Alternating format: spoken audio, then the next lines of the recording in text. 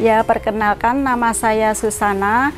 Ini saya produksi intip asli dengan brand saya Bunga Bakung beralamat di Mbibes Wetan RT 6 RW 19 Gilingan Banjarsari Solo. Saya bermain di Intep ini sebenarnya sejak muda ya sebelum saya merit itu tahun 2008 itu saya masih bujang eh, saya dari Delanggu. Terus pindah ke Solo di tahun 2011 untuk memperluas pasar dan berkembangnya di kota Solo.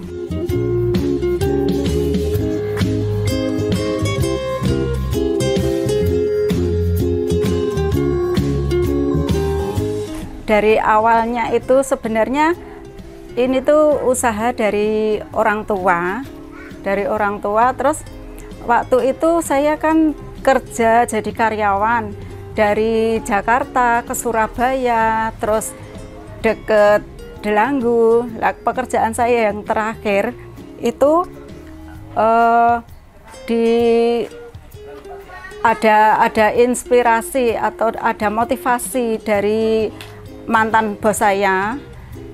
Itu uh, ditanya uh, latar belakang keluarga saya, kamu berapa bersaudara, ibumu kerjanya apa? Saya empat bersaudara, uh, ya semuanya bisa sekolah. Terus gini, kenapa kamu tidak ada uh, keinginan untuk memperluas market dari usaha orang tuamu gitu? Nah, dari situ terus saya berpikir masukan itu saya terima, terus saya harus oh ya uh, gimana caranya untuk mengembangkan usaha orang tua. Dari situ saya belajar uh, untuk mengembangkan usaha orang tua saya berjalan sendiri. Ya masih pertama masih modal dari orang tua. Lama-lama saya bisa mandiri. Waktu bujang itu saya sudah sudah mandiri dari Klaten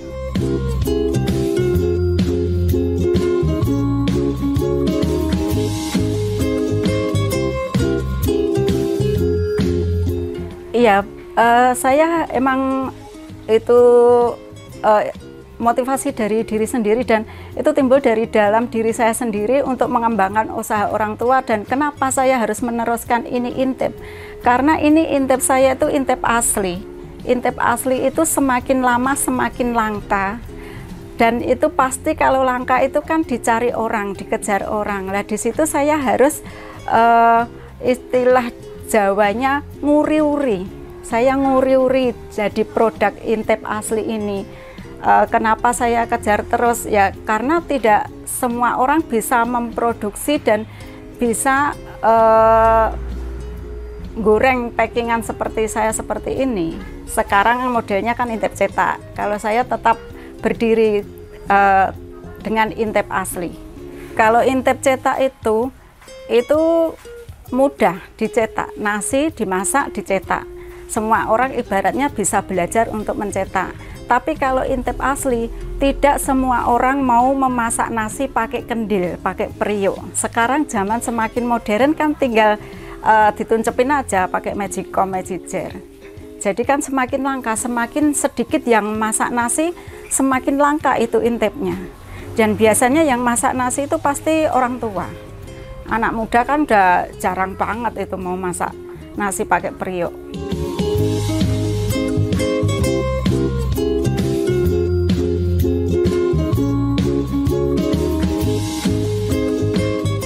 Ya intip asli saya dan lebih untuk stok intip mentah. Karena dari muda dari awal saya emang sudah menggeluti intip asli ini. Saya ngambilnya dari Klaten. Dan dari Klaten itu juga dari pelosok-pelosok daerah. Di sana ada pengepulnya. Jadi pengepulnya itu dia terima intip dari pelosok-pelosok daerah yang orang tua masih masak nasi. Jadi dikumpulin di situ saya tinggal ngambil kalau dulunya saya masih door to door dari rumah ke rumah untuk mengambil bahan mentah. Terus sekarang saya domisili di Solo kan jarak tempuh saya semakin jauh. Terus membuang waktu juga satu irit tenaga dua ya irit segalanya lah dari tenaga kesehatan maupun biaya. Jadi terus saya uh, pengepul saja. Jadi saya ambil dari pengepul, pengepul itu yang keliling yang ngumpulin. Gitu. Pemasaran dari awal sampai sampai tahun 2021 saya masuknya ke Wonogiri sama Delanggu. Di tengah kota Solo saya belum ada pemasaran, tapi saya sendiri ada lapak kecil di pintu masuk Pasar Gede Solo. Tapi belum ngedrop ke dalam kota Solo. Ya, terus baru mulai mulai kemarin lah bulan-bulan kemarin saya coba ke Jogja sama Karanganyar.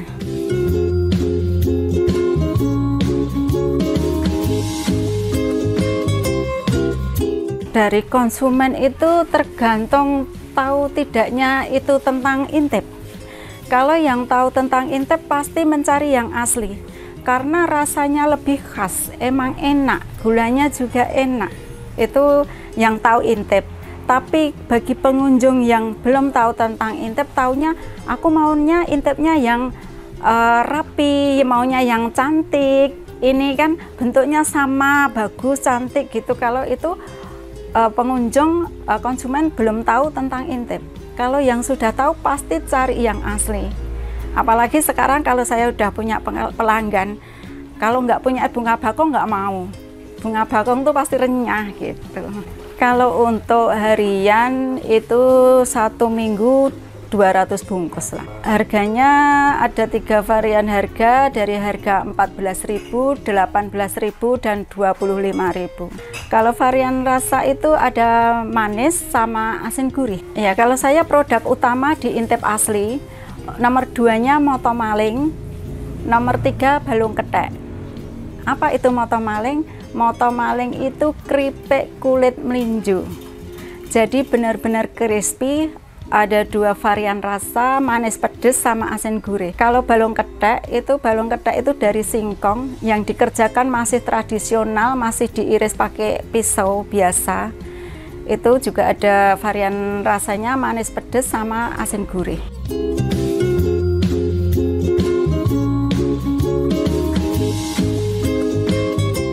Uh, saya mulai mulai masuk kota Solo itu kan 2011 saya itu tidak tahu tentang UMKM itu apa. Terus eh, baru tahun kemarin 2022 saya mencari tahu tentang apa itu UMKM, komunitasnya seperti apa dan di mana saya bisa bergabung. Itu saya cari tahu sendiri, cari info sendiri.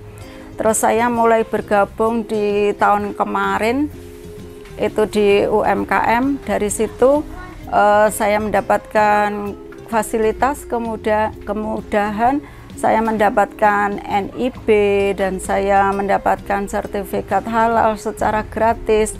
Setelah itu saya pengajuan PIRT untuk intip saya. Jadi untuk perizinan semuanya sudah komplit. Intip asli bunga bakung.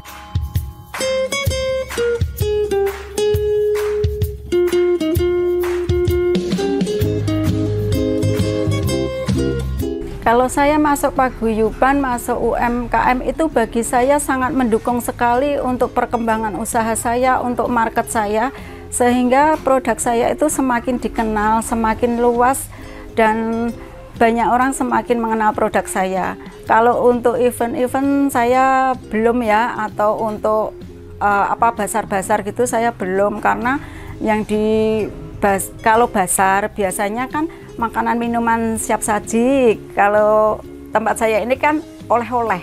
Nah, jadi mungkin beda beda pangsa pangsarnya kali ya. Terus kalau event-event saya belum belum bisa ngikuti mungkin karena kemasannya tuntutan kemasan. Lah terus saya beralasan kenapa kemasan karena kalau saya suruh ganti kemasan yang biasanya pakai pouch itu intip saya kan nggak bisa. Intip saya tetap seperti ini asli tradisional ya untuk khas tradisionalnya ya seperti ini, di tali seperti ini itu.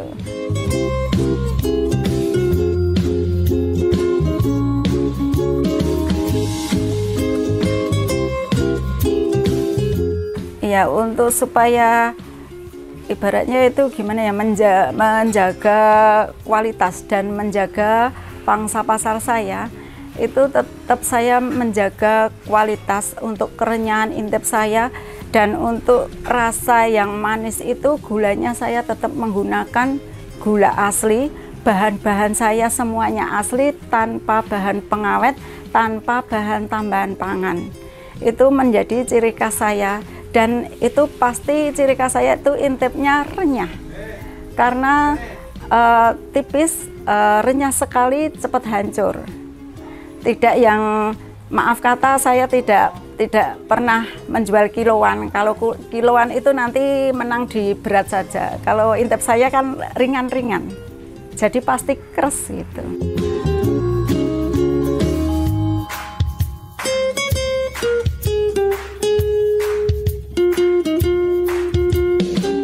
Mari saudara-saudaraku semuanya, saya produsen intip asli bunga bakung. Intipnya intip asli, dijamin renyah, keras, gulanya tidak lengket di gigi. Silahkan datang merapat di kediaman rumah saya di Mbibis Wetan RT 6 RW 19 Gilingan Banjarsari Solo.